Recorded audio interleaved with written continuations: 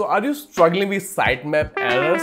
And you might have errors like couldn't fetch, sitemap could not be read, HTTP error 404, blocked by robot.txt, invalid sitemap, sitemap not updating, no index tags on sitemap and no referring page detected. Don't worry, by the end of video, we'll solve all these issues. And one very important thing, this video could be a little bit longer. This is not the two minute fix video because those videos very confusing and they don't really help because most of the time different website had different plugins different website are created differently. So if you follow this two minute of video you might have different option and you end up getting very confused. But today in this very education video we're going to solve all the issues with the sitemap. And guys one very important thing before we jump into this sitemap solution issues if you are a new blogger or new website owner and you have a very small website you might not need to think too much about sitemap because sitemap are not very important for very small website do they help? Yes, they do help. But if you're a new beginner, you don't understand anything, and it's become very complicated for you to fix sitemap errors, forget about those things because sitemaps are not that important. You can see the official article by Google Search Central. I will add the link to this article in the description of the video. So you might not need a sitemap if your website is small. Small, they mean less than 500 pages because Google can still crawl your website without having sitemap on your website. So if you have too much stress about all these things and you cannot fix it, Please focus your energy somewhere else creating good content. Do not worry too much about sitemap. Come back later this video and then you can try to fix those issues. And please read this article. This is really nice article. And by the way, this channel helps a lot of creator, blogger, website owner to fix their technical issues on their website. So please subscribe to Practical, Premium, SEO, website development, blogging and WordPress tutorials. I really appreciate that. Before we go into the fixing, let's see what is a sitemap. Sitemap is a file where all the posts and pages of website are indexed. So sitemap is a XML file and the URL for this file will be your website URL slash sitemap underscore index.xml in case of WordPress. In case of other website, it will be sitemap.xml, the URL. And this helps Google to understand how your website is structured.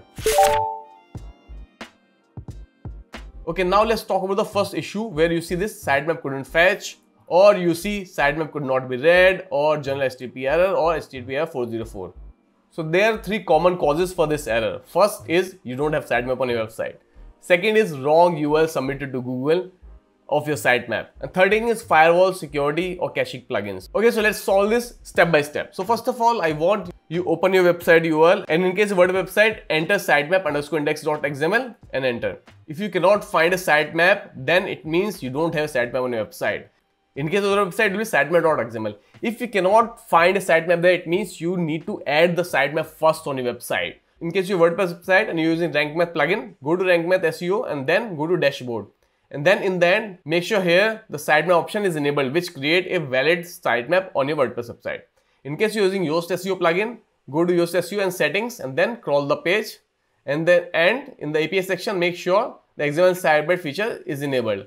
And now if I go back to my page, and if I refresh this page, you can see I have the valid sitemap on website. So this could be the big issue for most of people. For a blogger website, sitemap is automatically generated. You do not need to do anything about sitemap. But what happens when a lot of people, they enable custom robot.txt file and people add a custom sitemap here, which is not a good thing. Guys, you do not need to enable this option. Blogger does everything by itself. You might see a lot of people are adding this kind of custom robot.txt file and with the sitemap URL. You do not need to use this. You can see there is a thread about it which is answered by an expert. You can read this thread. I will add the link in description. And people who are running a successful website, why you are on Blogger still? Blogger is not the best platform. If your blog is successful, please move to WordPress today. You want to know why? Please check my detailed video. Link will be in description. Okay, now for the custom website, if you don't have sitemap website, you can use this website xmlsitemap.com and then please add your website URL here. Click on start and you get sitemap of your website. You can upload sitemap on your website. You want to know how you can do that? I explained in this video. It's very simple process. Log into hosting and put sitemap in the root folder of your website. If you want the detailed instruction, check the video in the description how to do that. Okay, the most important thing is done. We know that we have a valid sitemap on our website. So what we need to do now? What other problem happens? Sometimes what happens? People add their sitemap in Search Console. People might add wrong URL of the sitemap to Google Search Console. For example, for a WordPress website, it's always sitemap underscore index.xml. So guys, make sure you're adding the correct URL. And for Blogger is sitemap.xml. So please make sure adding the correct URL here. It's very, very important. Okay, so now we know we have valid sitemap on website. We know that we have added the correct URL on Google Search Console, but still we face this issue of couldn't fetch. What's happening? So now there's only possibility why this is happening. And the possibility is a plugin or Cloudflare is blocking your website sitemap. So what you need to do here is go to install plugins. You can see I have the security plugin Wordfence Security and LiteSpeed Cache. Select both the plugins and then deactivate those plugins. Of course, you can later activate this plugin once you find out which plugin is making the issue. And once you do this and submit again the URL of your website, and you can sidebar submit successfully. If I refresh, you can see now it's success. So I know now either it was the cache plugin or it was a security plugin which was making the issue on my website. So what I will do, first I will activate the cache plugin. I'll go back here, I click on sitemap of my website and then I will delete this sitemap. Don't worry, it will not de-index your pages. You can always read your sitemap and add those again. And what I will do is submit again the sitemap. You can see sitemap submitted successfully. It means it was not issue with LiteSpeed cache plugin, it was issue with WordFence security plugin. If again you find couldn't fetch error, it means it was the cache plugin. So keep the plugin disabled. Now we have two options. Either change the setting of plugin which is causing the issue or use the alternate plugin. And we have so many plugins on WordPress about these things. Please check more information in description. I will add the required setting to make your sitemap work properly with cache plugins or security plugins. Okay, now we know we have valid sitemap. The URL is good. Caching plugin, firewall plugin are not breaking the site, but you still have problem what it could be because I know a lot of time people face this issue. They try everything, everything looks fine, sitemap open fine, no issues, anything. So it might be Cloudflare. So guys, you can see recently I was using Cloudflare website and what's happening, I use under attack mode. And what happened under attack mode if I open the sitemap of my website? Please make sure using product browsing to test if the sitemap is working properly or not. Do not check in the same browser. You can see there is a verification box from here because of Cloudflare. Now it loads, but what happens when Google bot will go there? It will not load. It will add the JavaScript challenge there and that could be issue. So in that case, so make sure website is safe and disable the under attack mode. It's really important. It's really important because in under attack mode, Cloudflare challenge every request coming to the your website, including sitemap and robo.txt file. So once you disable under attack mode, click on the old map which is having problem, click on remove sitemap and then add again and then click on submit. So basically every time you have some issue, you need to delete the sitemap first which is causing issue and add the sitemap again. And don't worry, it will not de-index your website pages. By this point, most of you will have solution of your sitemap issues. If yes, please comment fix. And please like the video if this video helped you because I bring you this in-depth quality videos, not the cheap fixes. So if you appreciate quality content and really want your website to be successful, then please consider subscribing to the channel. Subscribing is totally free. I really appreciate that. With that said, let's go next step of sitemap issues. Second issue could be blocked by robot.txt. So a lot of people on the internet suggest what you can do. You have this option here, inspect any URL here. So what you can do, you can add your website sitemap URL here. You click on it and you click on it and you can see there's some description here. What we can do, we can click on test live URL. And if you see here, crawl allowed is yes, which means it is not blocked by robo.txt. But if you see crawl allowed no here, it means your sitemap is blocked by robo.txt file. You might have this wrong code, you disallow the sitemap of your website or you might disallow all the pages on your website by mistake. Make sure this is how your website sitemap URL looks like and you're not disallowing sitemap or important pages of your website. So make sure you're not doing this mistake. And also this page leads us to next issue which is submitted URL marked no index. You can see indexing allowed and say no.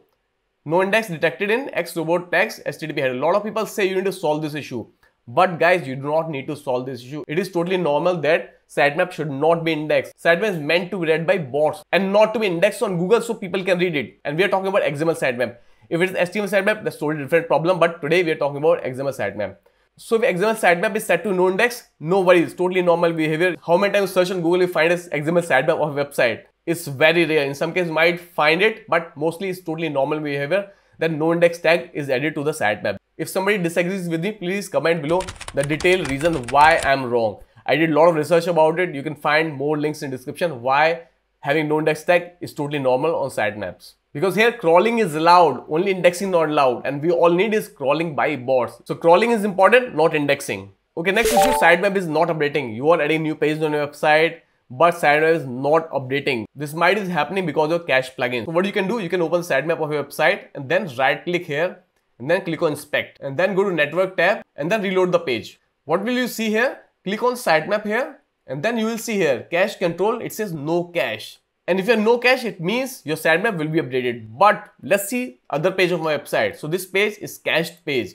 If I right click on this page again click on inspect go to network tab and then reload this page. And you can see here if I reload this page and I select this for example the CSS files you can see we have cache control public and max age something So if you see something on the sitemap, right now we don't see, if you see something, it means your cache plugin is not updating the sitemap. So what you can do? So in this case, you can exclude the sitemap URL in your cache plugin. So every cache plugin has this option. For example, in LiteSpeed Cache, you can click here, URL excludes, and then you can add the URL of your sitemap here. And for more detail about different plugins, check the link in description. Just find a way in your cache plugin to exclude the URL of the sitemap so it's not cached. And once you do this, and after doing this, clear your cache and your sitemap will be updated from next time. Okay, now let's talk about next thing, fix invalid site format. So what you can do, you can test your website sitemap here and click on validate sitemap. You can see no issue detected. But in case if you see a issue here, problem detected. So what's happening, sitemap format is not correct. And this issue will happen mostly on custom website because you did a mistake in the code or there can be different issue. In this case, come back here again, example I'll add the link in description and click on start and regenerate your website sitemap here. And then again upload this sitemap. In case of WordPress website, disable sitemap option with your plugin like Rank Math or Yoast SEO and then enable again. Same thing Yoast SEO plugin, disable it and enable again. And after doing this, make sure you clean the cache of your website. This will fix the invalid site format issues. For Blogger, if you're having the issues invalid sitemap, please make sure you're not adding custom sitemap for your website. You're not using a custom road.txt file. And guys, one very important thing, this could be again a issue because of Cloudflare. You might have the everything good working on your website. You have the correct sitemap. Everything is working fine. Cache is not blocking the sitemap. File plugin is not blocking the sitemap. As you can see on my website, I faced this issue personally. This was because I was using the under attack mode. So guys, make sure you're not using under attack mode. Please check this. Once I disable the under attack mode or what you can do, you can also pause Cloudflare from here. This will not break your website. And then I checked again, my sitemap was not invalid anymore. So this might be issue in your case also. Please test this thing. The last point would be no referring sitemap detected. So this is happening because you forgot to add this kind of pages in your sitemap. How you can do that? If you're using RankMath plugin, go to titles and meta and then make sure global meta set to index and then post types, make sure they are set to index here and make sure the pages tab they're also set to index here if you scroll the page and post type like WPTV tables or Elementor header footer builder they're not set to index they're set to no index. I created detailed video no referring sitemap detected if you want to watch that video check the link in description. If this video is helpful please like the video. And if you like to watch premium tutorials on blogging website development SEO don't forget to subscribe to the channel really appreciate that. And now watch this useful video on robot.txt which is really useful for your website or your blog